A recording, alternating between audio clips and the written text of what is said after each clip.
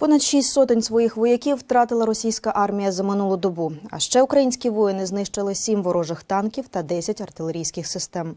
Загальні ж цифри станом на 1 березня, за даними Генерального штабу, маємо такі. Від початку широкомасштабного вторгнення наші захисники ліквідували більше як 149 тисяч 890 окупантів. Ворог втратив 3395 танків і 6638 бойових броньованих машин. На 2393 одиниці стало менше у загарбника артилерійських систем. Реактивних систем залпового вогню на 479 одиниць. Окупанти втратили 247 одиниць засобів ППО. Наші захисники приземлили 300 ворожих літаків та 288 гелікоптерів.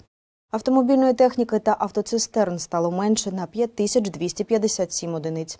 Російська армія втратила 18 кораблів та катерів. Наші захисники відмінусували 2055 безпілотних літальних апаратів ворога. У війні з Україною Росія втратила 873 крилаті ракети. Спеціальну техніку окупантів знищено у кількості 230 одиниць. Дані уточнюються.